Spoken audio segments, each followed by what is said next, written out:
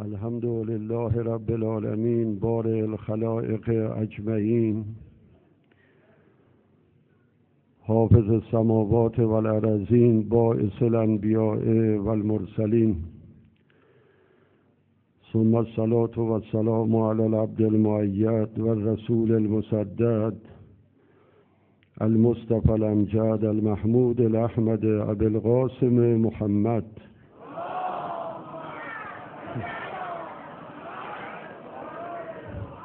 من الان الى قیام یوم الدین قال الله الحکیم فی کتاب الکریم علم یعن للذین آمنوا ان تخشع قلوبهم لذکر الله و ما نزل من الحق؟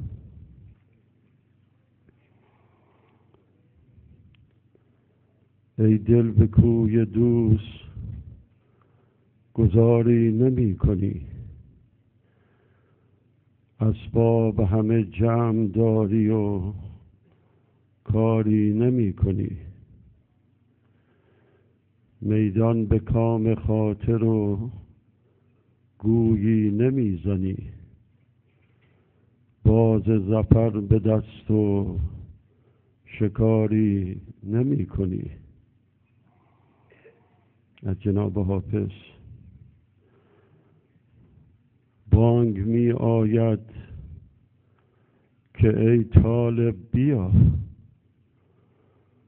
اینم از جناب مولانا. بانگ می آید که ای طالب بیا. جود محتاج گدایان چون گدا. جود محتاج است و خواهد طالبی.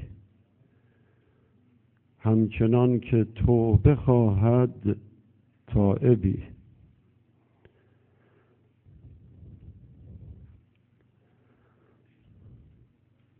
ما تو ذهن هامون بر این باوریم که فکر می‌کنیم گدا محتاج داراست. فقیر محتاج غنیست در حالی که احتیاج طرفینیه منتو با قول علما برای اینکه دور پیش نیاد این احتیاج طرفینی به دو حیثیته. ندار محتاج داراست که بگیره. دارا محتاج نداره که بده. فقیر محتاج غنی است که بگیره. غنی هم محتاج فقیره که جودش رو بروز بده. انسان جواد بخشنده اگر قرار این جود خودش رو بخشندگی خودش رو ظهور و بروز بده باید یه دستی دراز باشه. و لذا هر که معشوق دیدیش عاشق دان. کین به نسبت باشد هم این و همان. تشنه می جوید که کو آب گوار. آب هم گوید که کو آن آبخار این آب چشمه دامنه البرز گویا زبان حالش اینه که یه تشنه بیاد. از من استفاده کنه و من دومتون طرفتر هرس میرم میرم زیر زمین. همونطوری که تشنه دنبال آبه آبم دنبال تشنه است. عرض من چی امشب؟ درسته در دعای افتتاح شبهای ما رمضان می‌خوانیم. و ایقنتو انک انت ارحم راهمین فی موضع العفو و الرحمه و اشد المعاقبین فی موضع النکال و نقمه این رو می‌خوانیم. و بر این باوریم که خدای ما هم رحمت داره هم غضب داره. رحمت در جای خود غضبم در جای خود. اشد المعاقبین منتها جاش کجاست؟ فی موضع نکال و نقمه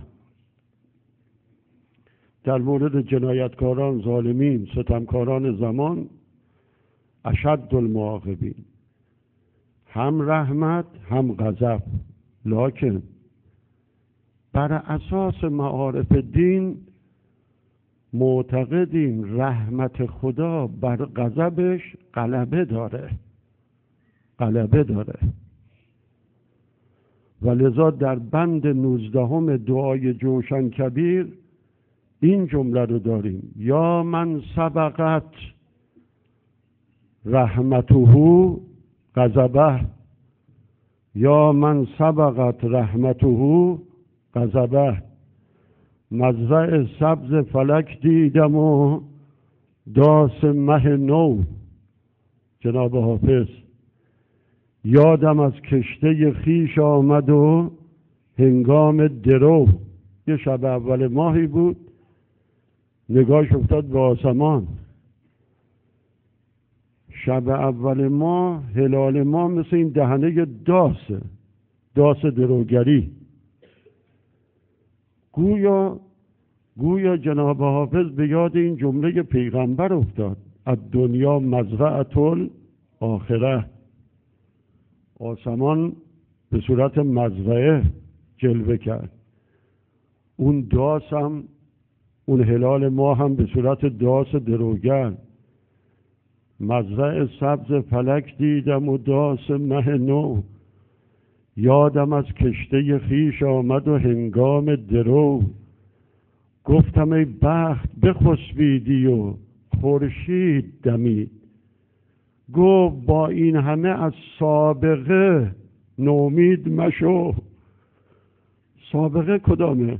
یا من سبقت رحمته غضبه گفت نگران نباش. تو خدایی داری که گرچه نقمتم داره غضبم داره اما رحمتش سبقت بر غضب داره. و لذا من جا بالحسنته فلهو عشر امثالها. قرآن قرآن. من جا بالحسنته فلهو عشر امثالها. کسی که یه قدم خیر برداره یه کار خوب بکنه ده برابر پاداش می‌بینه. و من جا به سیعته این چطور؟ فلا یجزا الا مثلها. اگر کار زشت بکنه در مقابل یه زشتی یه مجازات. در مقابل یه خوبی ده برابر. اینا چیه؟ بیانگر سبقت رحمت خدا بر غضبه. عشقی که نه عشق جاودانی است. بازیچه شهوت جوانی است. جناب نظامی. عشق آینه بلند نور است. شهوت ز حساب عشق دور است. در خاطر هر که عشق ورزد عالم همه پشه ای نیرزد. چون عاشق را کسی بکاود معشوق از او برون تراود نظرم به این یه بیته. چون عشق به صدق رهنماید یک خوبی دوست ده نماید. خدا عاشق من و شماست. چون عشق به صدق رهنماید یک خوبی دوست ده نماید. اینم اشاره به این آیه قرآن. من جا بالحسنته فلهو عشر امثالها. مادر ما به ما چقدر محبت داره؟ پدر ما چقدر به ما مهربانی داره؟ روایت روایت. در روایت آمده خداوند تبارک و تعالی صد تا رحمت داره. یکیش رو بر زمین نازل کرده و نصیب موجودات عالم طبیعت شده. از اون صد تا یعنی این لطف و مهربانی مادر که برای ما خیلی بزرگ جلوه می‌کنه یک صدم رحمت خداست. و لذا در سوره یوسف فالله خیر حافظا و هو ارحم راهمین عجب خدایی داریم. فالله خیر حافظا و هو ارحم الراحمین مادر مهربانه رحم داره او ارحمه. او مهربانتره. عرض من چیه؟ امشب عرض من چیه؟ این شبها شبهای تکان خوردنه. شبهای تصمیم گیریه شبهای عزم جزم کردنه. شبهای جبران کوتاهی های گذشته است. این آقای شاه اسماعیل صفوی صفوی ها صفوی ها از جمله کسانی بودند که اعتقاد به تشیع داشتند. اولین سلسله پادشاهی که در ایران مستقر شد از شیعیان سلسله صفوی ها اون جدشون صفی علی شاه از جمله دراویش بود و اعتقاد و ایمان خاص خاص مربوط به خودش نسبت به مولا و امیر المومنین و اینا بچه اون نسل اون هستن یه جنگی شبیه این جنگ تحمیلی عراق بر ایران اون هشت سال یه جنگی بین ایران و عراق پیش آمد. مدت ها زد و خود شد. ارتش ایران پیروز شد. و شاه اسماعیل وارد عراق شد. این سلطان و شاه پیروز شیعه شیعه امیر المومنین وقتی وارد خاک عراق میشه آرزوش چیه؟ بره نجف بره کربلا بره کازمین بره سامرا. چون شش تا امام معصوم ما در عراق دفنن. مولا علی ابن ابی طالب نجف. آقا حسین ابن علی کربلا. موسی ابن جعفر و نوش امام جواد. علیهم السلام کازمین امام هادی امام دهم و امام عسکری هم کازمه الان این سلطان شیعه مذهب پیروز وارد عراق شده. نجف کازمه سامرا کربلا آرزوش دیگه. مشاهد مشرفه عتبات رو زیارت کرده. کربلا جاهای مختلفی برای زیارت داره. داره از کربلا در میره. یکی بهش گفت آقای سلطان شما تا اینجا آمدی؟ یکی از زیارتگاه ها رو جا گذاشتی. نرفتی سو کجا؟ قبر هر قبر هر قبر هر بیرون کربلاست. حدود 6 کیلومتر با کربلا فاصله داره. علت هم داره. علت اینه که وقتی هر کشته شد اون بر طرفدار داره. آخه تا دیروز اونوری بود. اون طرفدارهای دیروزش جنازه رو در بردن. و لذا از جمله شهدایی که در کربلا سر از بدن جدا نشد جناب هر بود. جنازه رفت بیرون. تو صحنه درگیری نماند. عموم شهدا یا در حین شهادت سر از بدنشون جدا شد یا روز یازدهم. روز یازدهم عمر سعد تا زور بود یکی از کاراش این بود. چون مأموریت پیدا کرد سرهای بریده رو برگردان کوفه. رفتن این بی ها سراغ جنازه هایی که سر داشت. بعد از حدود 24 ساعت گذشته از شهادت دوباره سرها رو جدا کردن. اما هر در رفت. به این آقای سلطان پیروز شیعه شیعه مذهب گفتن اینجا رو جا گذاشتی. خب بریم. در حین رفتن یکی ایجاد شک و شبه کرد. گفت آقای سلطان این هر معلوم نیست که پیش خدا موجه باشه. شما شاهی الناسو علا دین ملوکهم. شما یه کاری بکنی بقیه هم دنبال روی پیروی. بیا او بگذر. شاه رو دچار تردید کردن.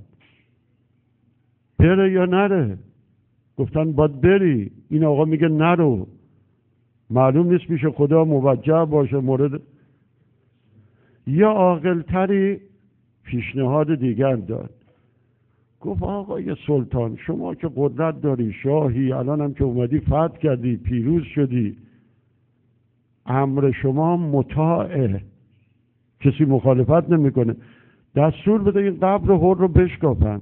ما شنیدیم. ما شنیدیم که شهدای کربلا بدنشان در قبر تازه میمانه. البته ما هم شنیدیم. شما هم بسیاری شنید شهدای کربلا. اینی که بدن اموات ما در قبر میپوسه چیز بدی نیست. یه موقع ما قضاوت های ناروا نداشته باشیم. اگر تو امامزاده ابراهیم امامزاده عبدالله کجا؟ یه جایی رو می‌کنیم می‌رسیم به یه سری استخوان پوسیده. بعد بعضیا که متوجه نیستن میگن لابد این چه کارای بدی کرده که اینجوری شده. نه اینجوری باید بشه. پوسیدن بدن در قبل یه امر طبیعیه. اگر یه موردی نشد استثناء خورده این قانون طبیعی. باید بشه. جنازه های شهدای ما رو بعد از چند سال از جبه میارن اسکلته بعد نه باید باشه. همینه دیگه. این قانون طبیعته و این قانون رو هم خدا خلق کرده. این بدن باید بپوسه. اگر یه موردی نپوسید استثناء خورده. اونم از نایه همون خدایی که این خاصیت رو ایجاد کرده. آتش خاصیتش چیه؟ سوزاندن. احراق. باید بسوزانه دیگه. این سوزاندن رو کی به آتش داده؟ این خاصیت رو خدا. خدا. همون خدایی که این خاصیت رو به آتش داده در جریان حضرت ابراهیم ازش می‌گیره. قلنا یا نارو کونی بردن و سلامن علی ابراهیم. این قلنا نه اینکه بیان لفظی باشه. اراده حق تعالی. اینجا تعلق گرفته این ناری که خاصیتش سوزاندنه حضرت ابراهیم رو نسوزانه. بردن و هم سرد بشو هم معتدل سالم. و بزرگان ما بر اساس بیانات دینی خدا رحم کرد به حضرت ابراهیم که دنبال بردن سلامن آورد. اگر سلامن نبود حضرت ابراهیم از سرما تلف می‌شد تو همون آتش. و خدا رحم کرد به من و شما. چرا؟ چون در این بیان علا ابراهیم. اگر این علا ابراهیم نبود این خاصیت حرارت از نار برای همه گرفته می‌شد. ما زمستان با چه کار می‌کردیم؟ بفهمید کارخانه های ما که به برکت حرارت آتش داره کار می‌کنه تولید می‌کنه ذوب می‌کنه اینا به کجا باید سرنوشتشون می‌رسید به ما هم خدا رحم کرد. علا ابراهیم فقط این مورد خب این استثناست.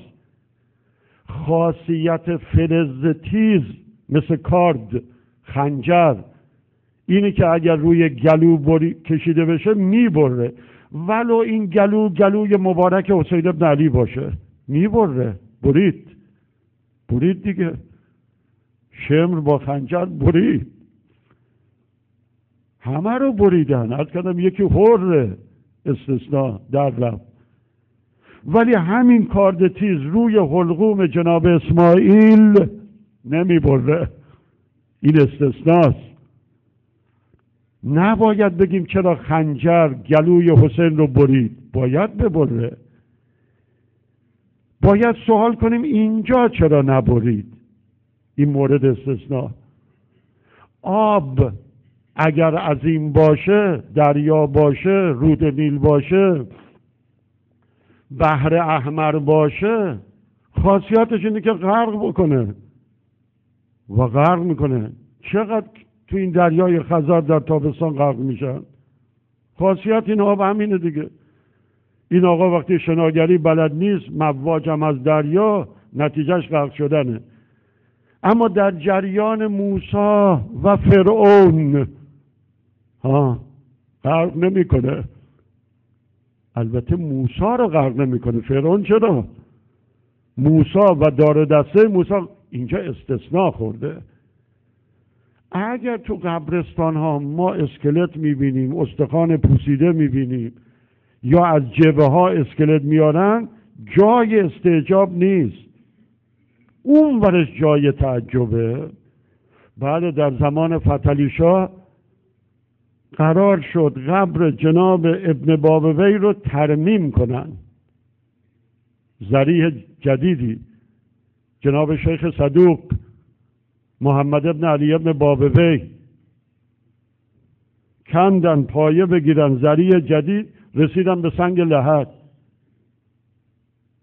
از منفذی که کنار سنگ لحد دیدن کفن تازه است. کفن تازه است.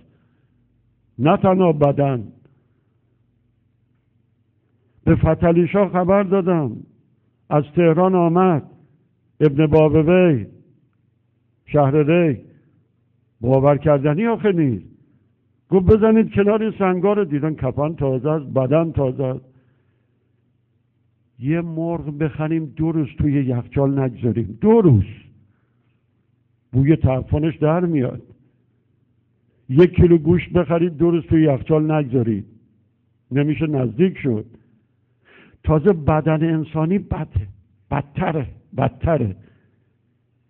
انسان از جهت روان جان شرافتش بالاتر از بقیه موجوداته. از جهت تن تو این زمینه بدتره. یعنی اگر یه گوسفندی مردار بشه بندازن کنار روستا. مردم روستا زندگی می‌کنن.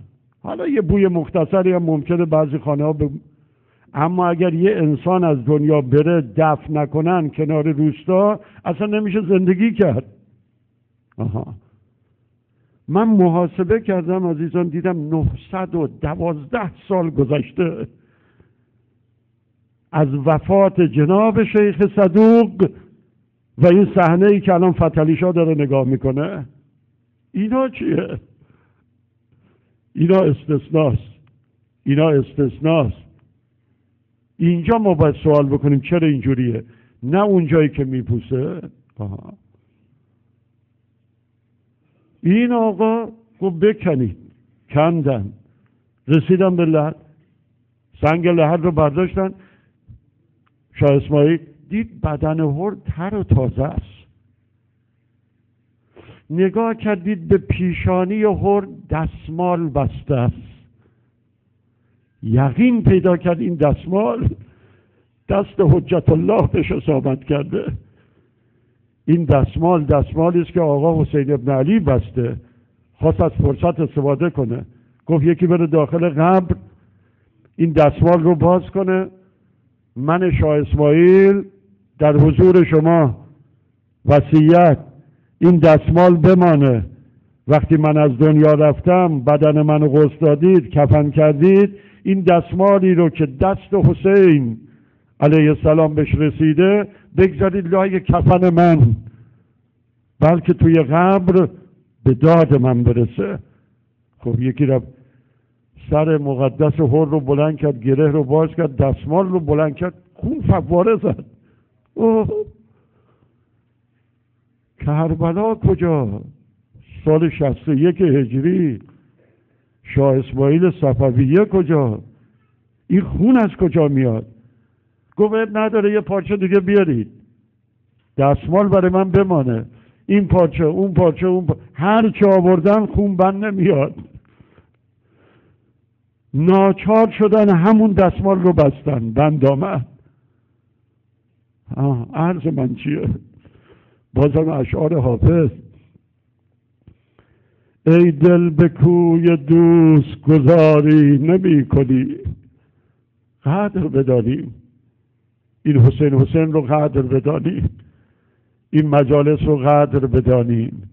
نمی‌دونیم سال آینده زنده هستیم نیستیم انشالله هستیم.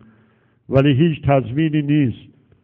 هم قدر بدانیم هم عزم رو جزم کنیم.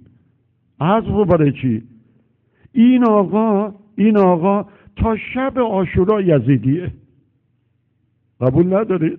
پر. تا شب آشورا یزیدیه. حتی تا صبح آشورا یزیدیه. نزدیک زور سرش روی دامن حسین ابن علیه.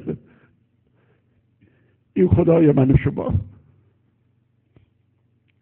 پلها رو خراب نکنیم. تمام درها رو نبندیم. یه جای آشتی بگذاریم. بعد بسی کردی نکو انگاشتی هیچ جای آشتی نگذاشتی. نگیم گذشتم اینجوریه. ما پاتم مزار. نگیم تازه اول جوانیمون انشالله درست می‌کنیم درست میشیم. الان انسان از این ور خیابان به اون ور خیابان خاطر جمع نیست ساله می‌رسه یا نمی‌رسه. اینجوری هست یا نیست؟ خیلی از این ور خیابان نرسیدن به اون ور خیابان. تو همین شهر. خیلی شب خوابیدن صبح بلند نشدن. خیلی صبح خداحافظی کردن غروب بر نگشتن. هی نگیم آینده آینده. فردا فردا نکنیم. صوفی ابن الوقت باشد ای رفیق. صوفی یعنی عارف واقعی. نه اون مدعی عرفان. صوفی ابن الوقت باشد ای رفیق. نیز فردا گفتن از شرط طریق. نه فردا فردا نکنیم. یه همچه خدایی داریم مهربان. صد تا یکیش رو داده به مادر من به پدر من. به مادر و پدر شما. 99 تا رو خودش داره. و لذا با ما مدارا می‌کنه. منتها ما هم باید قدم برداریم. برای چی کشته شدن؟ ما میگیم کشته شدن. برای چی کشته شدن؟ حسین ابن علی علیه السلام کشته شد چون نماز می‌خوان چون روزه می‌گیره چون میشه قرآن می‌خوان دعا می‌خوان. شب و روز هم این کارو می‌کرد یزید با او کاری نداشت. او دید قرآن در معرض خطره. مکتب رو به زواله با ریاستی که این آقا پیدا کرده. به نسلهای آینده و عصرهای آینده این راه هدایتگر منتقل نمیشه. گفت من جام بدم جوان بدم طفل شیرخوار بدم زن و فرزندم رو در معرض اسارت قرار بدم. این مکتب هدایتگر به نسلهای بعدی برسه. برسه راه باز باشه راه باز باشه. بانک می آید راه بازه که ای طالب بیا. جود محتاج گدایان من خدا جوادم. احتیاج به شما دارم. برای اینکه جود خودم رو بروز. شما یه دست گدایی دراز بکنید تا من جودم رو بروز بدم. آها.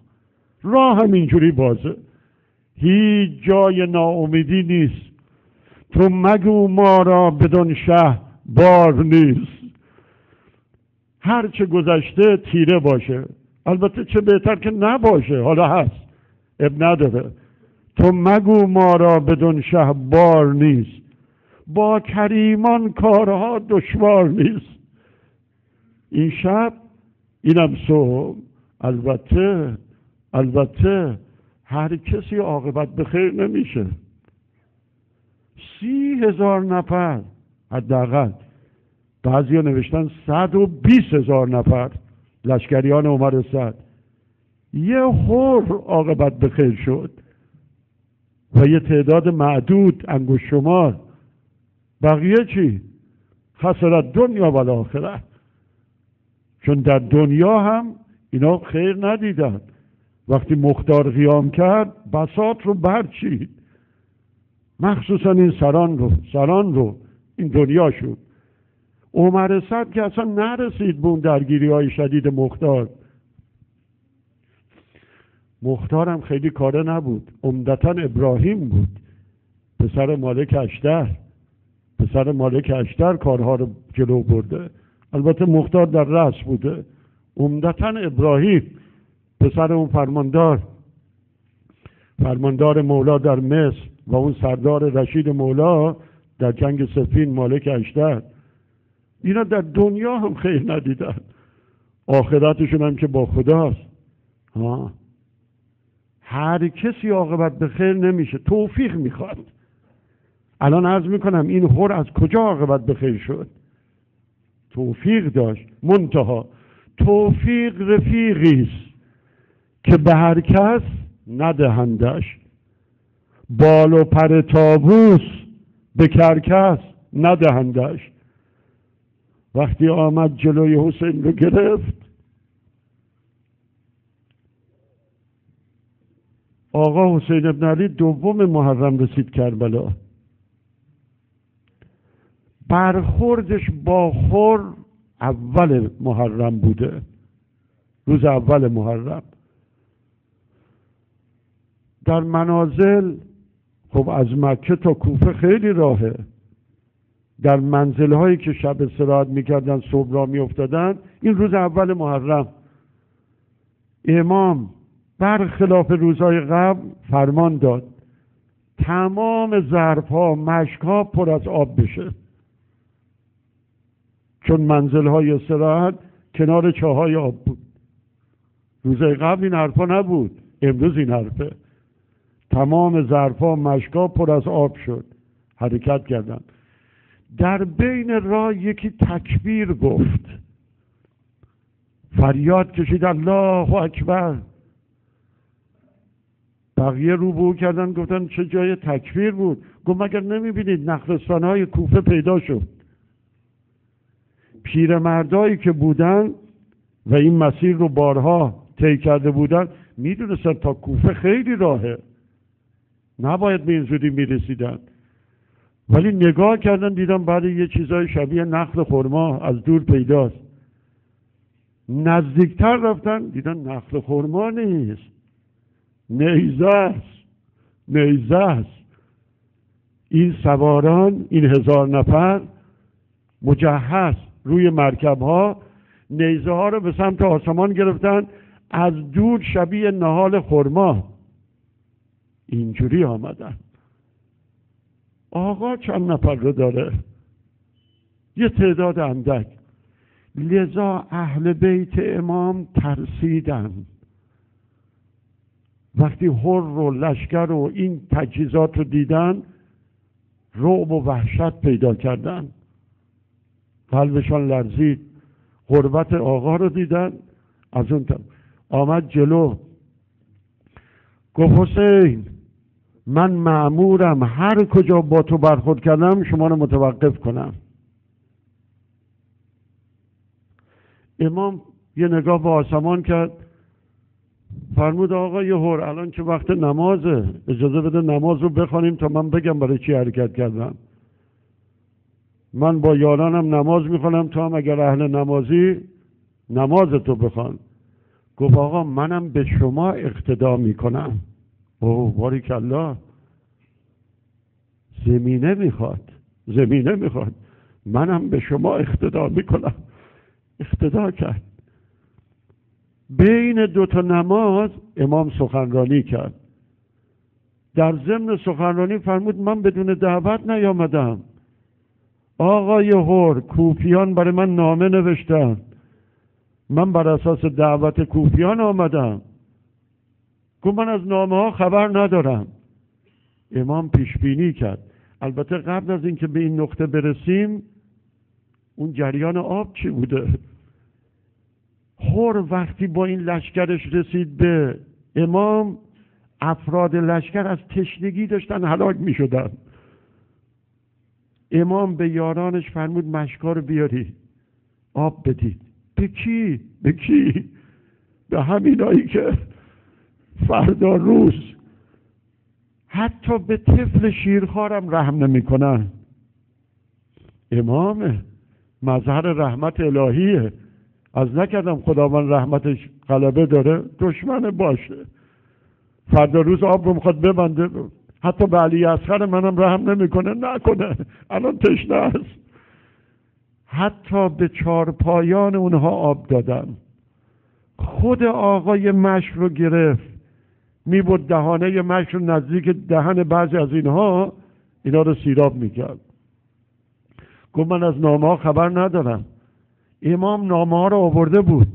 چند تا خورجین پر از نامه ریختن جلوی هور دوازده هزار نامه دادن کوفیان. خور گفت آقا من پای هیچ یک از این نامه ها رو امضا نکردم.